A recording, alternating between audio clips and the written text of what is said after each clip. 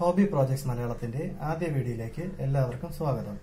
ഇന്ന് ഇവിടെ ഉണ്ടാക്കാൻ പോകുന്നത് ഒരു സോൾട്ട് വാട്ടർ ബാറ്ററിയാണ് അതായത് നമ്മുടെ ഉപ്പുവെള്ളം കൊണ്ട് പ്രവർത്തിക്കുന്ന ഒരു ബാറ്ററി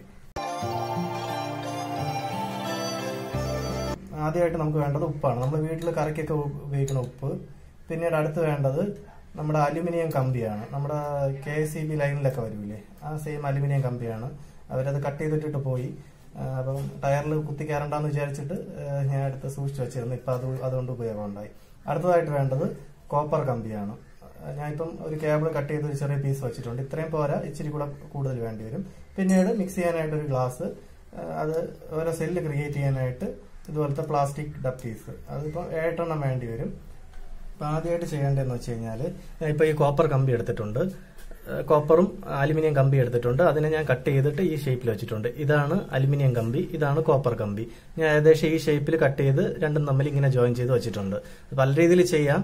ഞാൻ ഇപ്പോൾ ചെറിയ എന്റെ ഡപ്പിയുടെ സൈസും അതിന്റെ ഷേപ്പിനും അനുസരിച്ചാണ് ഞാൻ ഈ അളവിനെ എടുത്തിട്ടുള്ളത്. അപ്പോൾ ഇതുപോലെ ഞാൻ ഇപ്പോൾ ഒരു എട്ട് സെല്ലാണ് ക്രിയേറ്റ് ചെയ്യാൻ പോണത്. അതിന് വേണ്ടിയിട്ട് എട്ടെണ്ണം ഇതുപോലെ ചെയ്തെടുക്കുക. എന്റെ ഞാൻ എടുത്ത ഡപ്പി എന്ന് പറഞ്ഞാൽ ചെറുതാണ്. അപ്പോൾ അതിനകത്ത് ഇത് വയ്ക്കുന്ന സമയത്ത് ഈ അലുമിനിയവും കോപ്പറും തമ്മിൽ കൂട്ടിമുട്ടാൻ ചാൻസ് ഉണ്ട്. അപ്പോൾ അതുകൊണ്ട് അത് മുട്ടാതിരിക്കാനായിട്ട് ഞാൻ ഇതുപോലെ തുണി ചുറ്റി ഇങ്ങനെ എടുത്തിട്ടുണ്ട്. അപ്പം ഇത് ഒരു അൺനെസസറി സംഭവമാണ്. എന്നാലും ഞാൻ ഇപ്പോൾ എക്സ്പെരിമെന്റ് ചെയ്യുന്നതായതുകൊണ്ട് നമുക്ക് അങ്ങോട്ടും ഇങ്ങോട്ടും അനങ്ങണ സമയത്ത് ഇത് രണ്ടും തമ്മിൽ മുട്ടിക്കഴിഞ്ഞാൽ ആ സെല്ല് വോൾട്ടേജ് പ്രൊഡ്യൂസ് ചെയ്യൂല.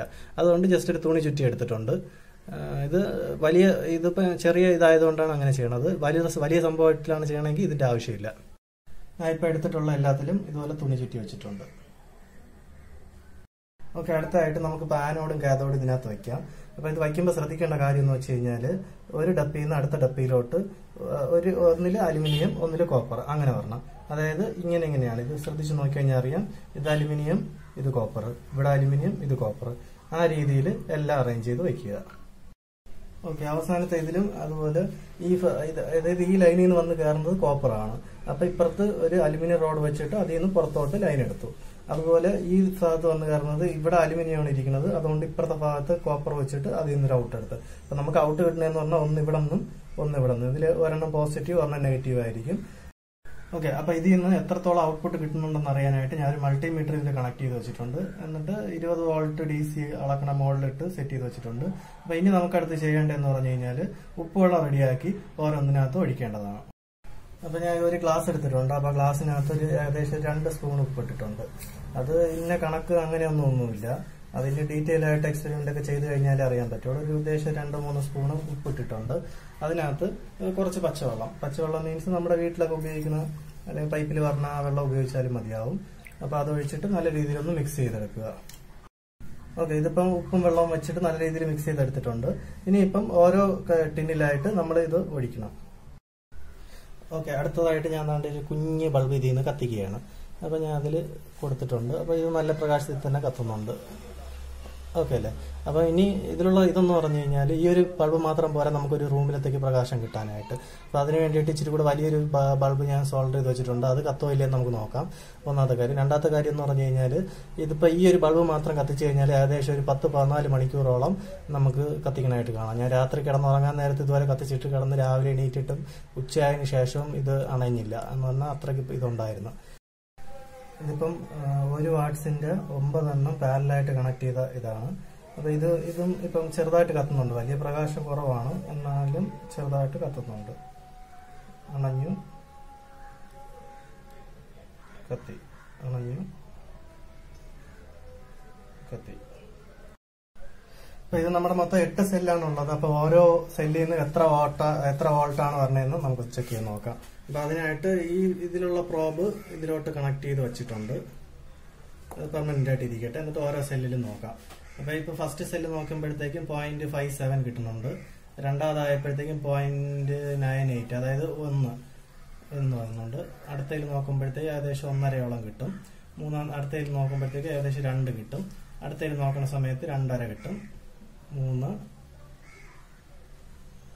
മൂന്ന്. മൂന്നര. ഏകദേശം ഒരു നാല് വോൾട്ട്. നാല് വോൾട്ടിനേക്കാളും കൂടുതൽ കിട്ടും. അപ്പോൾ ഒരു സെല്ല് പ്രൊഡ്യൂസ് ചെയ്യുന്ന വോൾട്ട് എന്ന് പറയുന്നത് ഉദ്ദേശം ഒരു അര വോൾട്ടാണ്. അപ്പോൾ അടുത്തതായിട്ട് ഇതിന്റെ ഒരു ആംബിയർ വളരെ കുറവാണ്. അതായത് നമ്മുടെ ബൾബ് പ്രകാശം കുറഞ്ഞാണ് കത്തിക്കൊണ്ടിരുന്നത്. അപ്പോൾ അത് കൂട്ടാനായിട്ട് ഒന്ന് രണ്ട് ടിപ്സ് ഉണ്ട്. അപ്പോൾ അത് തൽക്കാലം ചെയ്യണില്ല. സംഭവം നമുക്ക് ഈ രണ്ട് അലുമിനിയം റോഡും കോപ്പർ റോഡും വെച്ചില്ലേ? അതിന്റെ സർഫസ് ഏരിയ കൂട്ടുക. അതായത് ഇപ്പോൾ റോഡ് ആകുമ്പോഴത്തേക്ക് അതിനൊരു സ്പെസിഫിക് ആയിട്ടുള്ള സർഫസ് ഏരിയ ഉണ്ട്. അപ്പൊ അത് മാറ്റിയിട്ട് ഷീറ്റ് ആക്കണം. ഷീറ്റ് ആയി കഴിഞ്ഞാൽ സർഫസ് ഏരിയ കൂടുതൽ കിട്ടും. അങ്ങനെ ചെയ്ത് കഴിഞ്ഞാൽ ആംബിയർ ഇച്ചിരി കൂടുതലായിട്ട് കിട്ടും. പ്രകാ ബൾബ് നല്ല പ്രകാശത്തിൽ കത്തുകയും ചെയ്യും. പിന്നെ ഞാൻ ഇതായിട്ട് ഉപയോഗിച്ചപ്പോൾ ചെറിയ പ്രകാശത്തിൽ കത്തി അത് ഏകദേശം പതിനാല് മണിക്കൂറാണ് ബാക്കപ്പ് കിട്ടിയത്. അതൊരു സംഭവം തന്നെയാണ്. അപ്പോൾ ഇതൊന്ന് ഡെവലപ്പ് ചെയ്ത് എടുത്തു കഴിഞ്ഞാൽ നമുക്ക് ഒരു സ്പൂൺ ഉപ്പുണ്ടെന്നുണ്ടെങ്കിൽ ഒരു ഒരു റൂമിലുള്ള ഒരു ലൈറ്റ് നല്ല പ്രകാശത്തിൽ കത്തിക്കാൻ പറ്റിക്കഴിഞ്ഞാൽ അടിപൊളിയായിരിക്കും. അതൊന്ന്. രണ്ടാമത്തെ കാര്യം ഇനി ഞാൻ അടുത്ത് ചെയ്യാൻ പോണ എക്സ്പെരിമെന്റ് ഇപ്പം നാല് വോൾട്ടാണ് കൊടുത്തത്.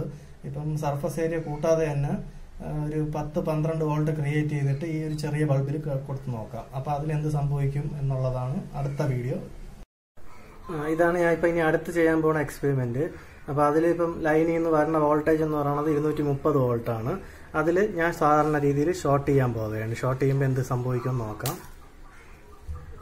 ഷോർട്ട് ചെയ്യുമ്പോഴത്തേക്ക് ഒന്നും സംഭവിച്ചില്ല ജസ്റ്റ് ബൾബ് അണഞ്ഞത് മാത്രമേ ഉള്ളൂ. മനസ്സിലായില്ലേ? അപ്പോൾ ഇരുന്നൂറ്റി നാൽപ്പത് വോൾട്ട് ഷോർട്ട് ചെയ്ത് കഴിഞ്ഞാലും എന്ത് സംഭവിക്കും? ഇതിന് എന്താണ് ചെയ്യേണ്ടത്? ഷോർട്ട് ചെയ്താലും കുഴപ്പമില്ലാത്തൊരു സർക്യൂട്ട് ഉണ്ടാക്കണം അപ്പോൾ അതിനുള്ള ഒരു സിമ്പിൾ സർക്യൂട്ടാണ് ഞാൻ ഇപ്പോൾ ഇനി അടുത്ത് ചെയ്യാൻ പോണത്. പിന്നെ കുട്ടികളാരും ഇത് ട്രൈ ചെയ്ത് നോക്കരുത്. ഈ വൈറ്റ് ബോർഡിന്റെ പുറകിൽ ഒരു സർക്യൂട്ട് ഉണ്ട്. സർക്യൂട്ട് ഉള്ളതുകൊണ്ടാണ് ഇങ്ങനെ ഷോർട്ട് ചെയ്തപ്പോഴും ഒന്നും പറ്റാത്തത്. അല്ലാതെ ഷോർട്ട് ചെയ്ത് കഴിഞ്ഞാൽ ഫ്യൂസ് പോകാനോ അല്ലെങ്കിൽ വയർ കത്തിപ്പോവാനോ അല്ലെങ്കിൽ തീപിടുത്തം വരെ ഉണ്ടാവാൻ ചാൻസ് ഉണ്ട്. കുട്ടികളാരും പരിശ പരിതാക്കരുത് ഇതുപോലുള്ള വ്യത്യസ്തമായ വീഡിയോകൾ കാണാൻ ഈ ചാനൽ സബ്സ്ക്രൈബ് ചെയ്യുക. നിങ്ങളുടെ വിലയേറിയ അഭിപ്രായങ്ങളും നിർദ്ദേശങ്ങളും താഴെ കമന്റ് ബോക്സിൽ രേഖപ്പെടുത്തുക.